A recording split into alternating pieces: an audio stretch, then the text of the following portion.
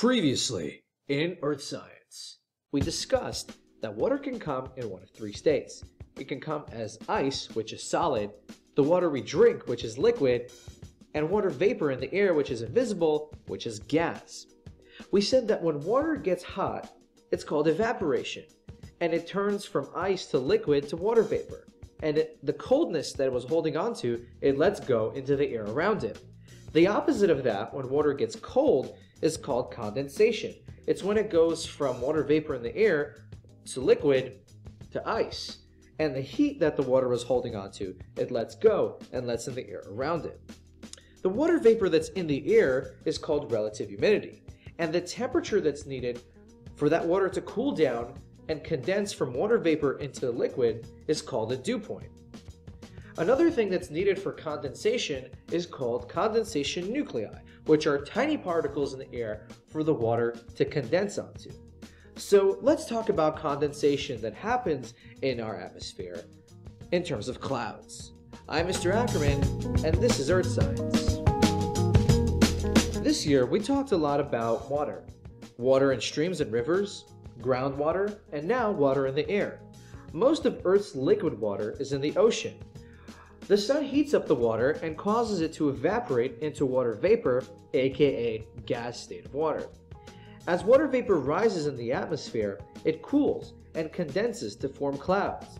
As water droplets grow, this is when we have rain or snowfall. Rain that flows on the ground is called runoff, which forms streams and rivers and will eventually fade back into the ocean. Another way that water will enter the atmosphere is through transpiration. Its summer water is breathed out by leaves of plants so water will enter the air through transpiration or evaporation. This cycle of water going from the ocean into the sky, coming down as rain, and then eventually back into the ocean is called the water cycle.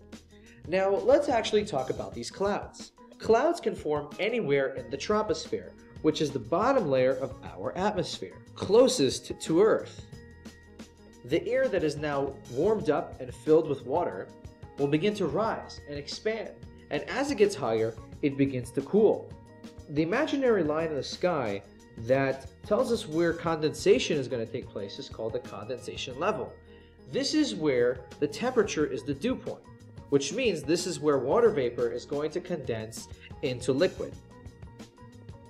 A shape of a cloud is going to tell us how the air moves around it. For example, a cumulus cloud, which are those big fluffy ones that are flat on the bottom and they grow upwards.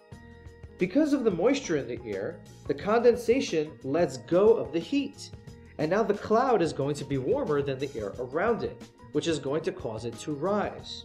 Another type of a similar cloud that grows upwards is a cumulonimbus, which is a rain cloud, also whose base is flat and starts at the condensation level.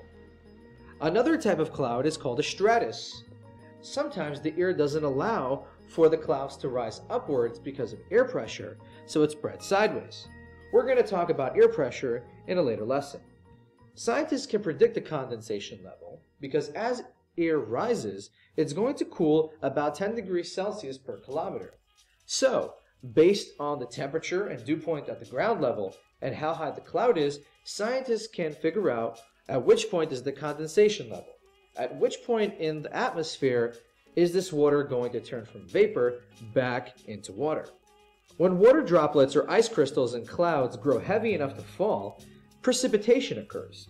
Precipitation is any form of water that falls from a cloud to Earth's surface, like rain, snow, sleet, and hail. So, how do raindrops form? Well, droplets will bump into each other and combine. Some droplets will be bigger than others. A way that droplets become bigger is if they were there earlier, they'll have more time to form, or if they have bigger condensation nuclei. But bigger drops will fall faster than slower drops and will capture or combine them. Drizzling is fine water drops that fall slowly and close together. Raindrops are going to be larger, fall faster, and be farther apart because they combine. Temperature in the clouds is usually freezing, forming ice crystals. Snow is when ice crystals in a cloud collide and clump together.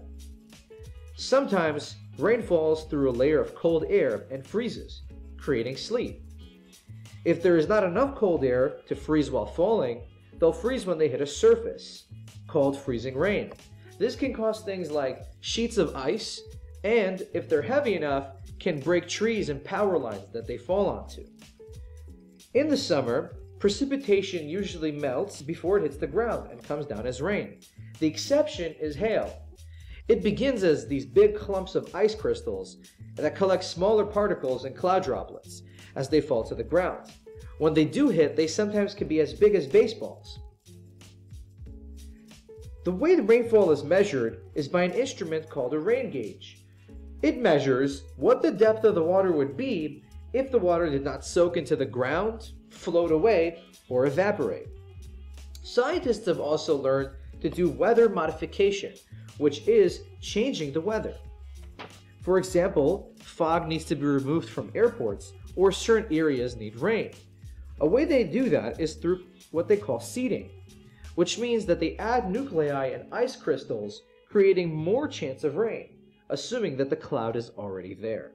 Where in the world does rainfall occur? Well, the simple answer is anywhere where there is warm and moist air that's rising in large amounts. Let's take a look at a mountain range, which will show this very clearly. As the air rises on the left side of the screen by the Pacific Ocean and condenses into clouds, the wind will carry it towards the right side of the screen, towards the east. This is called the windward side, the side where the wind hits first. And it's, since it's full of moist air, eventually it's going to rain. By the time the wind gets to the other side, to the leeward side of the mountain, the air is already going to be dry and is starting to sink, compress, and warm. So on the right side, you might have less rain than on the left. Areas near the equator will also have a lot of rainfall because they are next to water and they get a lot of insolation, a lot of sunlight. Because of this, they might have daily rains in some places, which create tropical forests. A place that's not going to get rain is deserts. Deserts have high air pressure, which doesn't allow air to rise. And again, we'll talk about air pressure in the next lesson. Another area that's not going to get a lot of precipitation, a lot of rain, is the North and South poles. It is too cold over here for water vapor to rise in the air. Today's lesson was brought to you by the sun. The entire water cycle is powered by the sun since day 4 of creation. That's it for today's lesson. Make sure to answer the questions in the form below and hit the submit button. Next, we'll talk about air pressure and wind. Have a great day.